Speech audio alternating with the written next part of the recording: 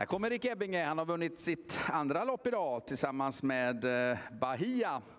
Så det blev en dubbelseger med sig hem till Holland till IRON också. Grattis! Tack. Det var en bra häst det här. Ja, absolut. Kommit igång lite sent. Ja, eh, hon är eh, jättestor och grov i gången så hon behövde lite tid. Men det här var enkelt. Ja, första svängen var lite problem med travet därför blev hon lite het.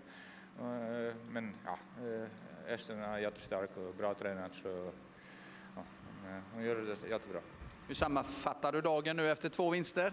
Ja, det var bra. Het Indigo blev lite, lite sämre men jag kände det lite i första kurvan. Men ja, hon galopperade på- sista borta.